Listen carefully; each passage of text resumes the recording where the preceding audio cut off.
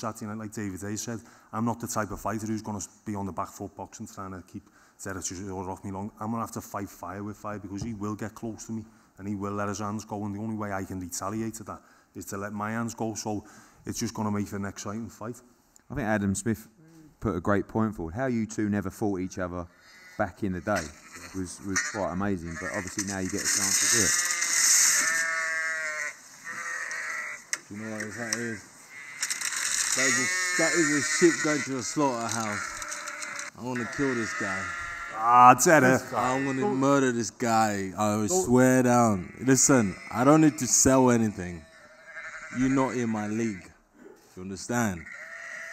That is you right there. I'm going to duck you down. You don't understand. See, I know Zerich needs this to get himself up for the fight. So, that, so that's sound because the last thing Zerich needs is to be shaking my hands and because we do like each other. No, no, we, and, and you know when it's cool, look, respect. You know what? That, that's fine. Like the man, but this is his business. This is business, yeah, hundred percent, hundred do like the percent. man. He's a good guy. You know, when you wanted to retire, don't don't retire. Keep going. You never know what God's gonna give you in front.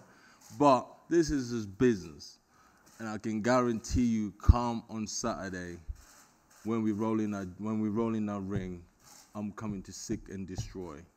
Uh, that's You fine. That's fine. But you will, you will walk on someone in the process, Dereck. I cannot hear you. You will walk into someone in the process of the seek and destroy. And look, it's going to be a great fight. I am happy to walk into one of them, but I'm happy to deliver loads of them. So, Yeah. Okay. You know, okay. is what it is. But I am ready.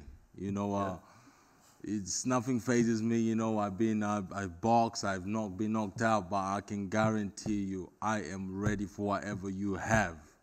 You understand? Okay. Whatever you got, I got tripled and you got. You know, understand? I am ready. You know, nothing phases me. I'm gassed. I'm pumped. You know, I'm I'm I'm loving life. You know, life life is great to me. God is great. So all I'm saying to you is, just be, be ready when I roll in. That's all I'm saying. Understood. I, I didn't get that. What you say? I said understood. Understood. Good man.